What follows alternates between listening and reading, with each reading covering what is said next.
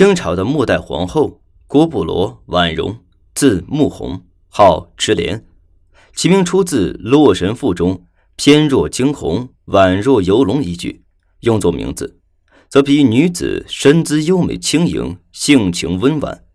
但是世事难料，有谁又能猜到这个像洛神一样美妙的女子，在进宫之后，却像鸟儿被折断了翅膀一般，被困于这重重鬼滚，了残余生？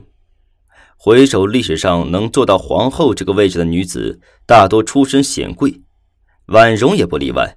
她的高祖是咸丰年间的掌握重权的武将，父亲郭布罗荣元是内务府大臣，母亲是人称四格格的定郡王孙女。但可惜红颜薄命，母亲在婉容牙牙学语时就去世了。而后荣元迎娶了爱新觉罗恒星作为他的继母。但不同于其他家庭，继母与继女之间的苦大仇深和勾心斗角，恒心对婉容的生活是无巨细，悉心照料着她，两人相处和睦。同时，他的端庄贤良和精明能干的性格也深刻的影响着婉容。在古代，很多人认为女子无才便是德，所以很多女子都没有上学的机会。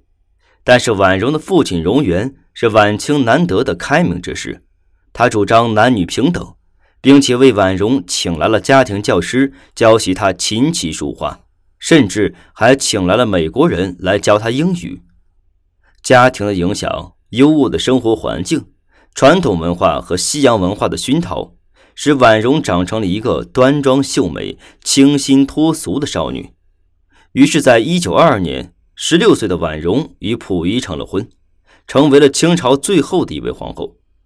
由于当时新生的中华民国给予清朝皇室保留尊号，以君王礼相待的待遇，所以婉容的婚礼依旧是沿袭清朝皇帝的大婚形制。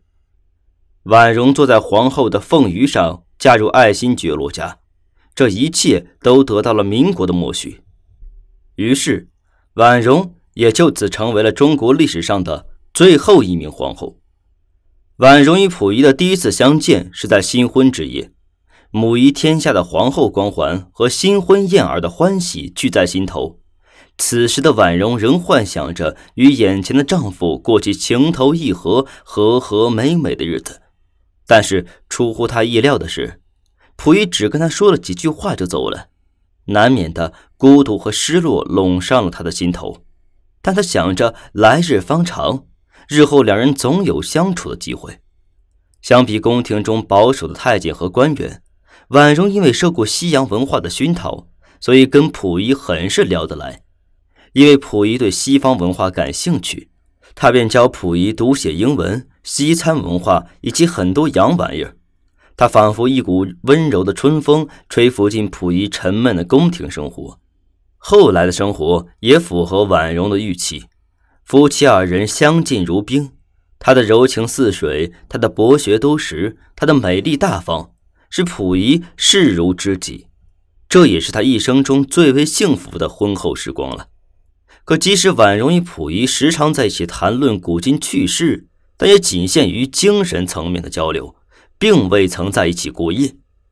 夜晚的清冷孤寂，比白日里的琴瑟和弦来的现实。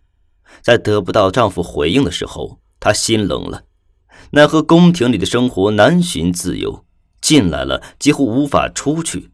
婉容的脾气越发暴躁起来，溥仪因此对她更加冷落起来。心中的孤寂无处消散，但是作为后宫嫔妃，能接触到的外界东西少之又少，那么沉闷的宫廷生活又能靠什么来消磨时光呢？这个时候，香烟刚刚传入中国。在宫中更是备受追捧。早在嫁入皇宫之前，婉容就已经接触过洋人的香烟了，所以在宫中烦闷之时，婉容就只能靠香烟来解闷消磨日子。日积月累，就有了阴影。在她十七岁时，因为自身娇弱，有痛经的毛病，婉容就开始靠吸食鸦片来缓解生理上的疼痛。然而发展到后来，鸦片也成为了婉容麻痹孤独的心灵的良药。后来因为政变，婉容在十八岁之时，不得不跟随溥仪离开紫禁城，回到天津这个婉容出生、成长的地方。在这里，婉容仿佛回到山林的小鸟，经常四处游玩，出入各种社交场合，甚至改变清宫女子的传统发式，烫了一头卷发，购置各款时髦的衣衫。但此时的溥仪已经失去了所有权利，却还把重振清朝的希望寄托在伪善的日本人身上，成为了一个傀儡皇帝。溥仪的妃子文秀也因为无法忍受而发动了刀妃革命，让溥仪成为了历史上第一个被离婚的皇帝，颜面尽失。溥仪因为无处宣泄，便迁怒于婉容，责怪他平日仗势欺压文秀，才导致了这个结果。所以他对婉容的态度更加冷漠，二人的婚姻也已貌合神离。因为对生活的绝望，婉容更加放纵自己，始终沉迷于鸦片，甚至还做出了出格的行为，与侍卫私通，并生下一女。可惜他的女儿在出生不久后就夭折了。他也曾想过像文秀那样勇敢，冲破世俗的禁锢，离开溥仪，逃向日本。但是却被三格格写信告发，同时他对皇后这个头衔带给他的荣耀也有着极度的执着。为了这个荣耀，他最终没有逃走，这是他唯一也是最后自由的希望。但他并没有抓住机会，他不知道后面等着他的是怎么样的痛苦和黑暗。到了一九三五年，溥仪不顾日本人阻挠，决定废除婉容的皇后之位。并将她拘禁在寝宫里。这一年的婉容也不过二十八岁的年华，一连串的打击让婉容的精神状况日益趋下。她开始整日无休止的吸食大烟，烟瘾也越来越大，身体和精神饱受摧残后，婉容已经几近疯癫。她经常蓬头垢面、衣衫不整的在寝宫里瞎跑，有时放声大哭，有时又嬉嬉闹闹。直到累了，才被宫女太监扶到吸烟室抽大烟。到了一九四五年，日本宣布投降后，溥仪在逃亡日本的途中被俘虏，而婉容也跟其他一众皇亲贵族一起被游击队抓获，投放于延吉监狱。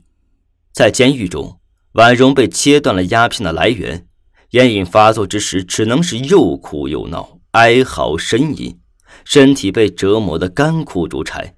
日常起居生活根本不能自理。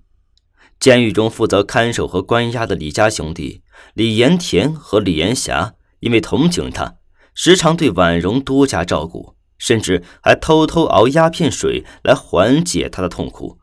但是婉容此时的毒瘾已经深入骨髓，李家兄弟偶尔的援手对他来说只是杯水车薪。到了一九四六年。婉容被监狱的看守发现，在狱中将死多时，但即便她曾贵为皇后，生时饱受折磨，死后亦不得善待。监狱的看守把她的遗体用席子随意裹，扔到了臭水沟旁。李家兄弟知道后，心中不忍，便拆了门板，做了个棺木，把婉容的遗体和他随身的烟枪安放进去。这简陋的棺椁，便是婉容。一生的重点了。好了，以上是本期的内容。如果您喜欢我们的节目，欢迎订阅、点赞、转发，感谢大家的支持。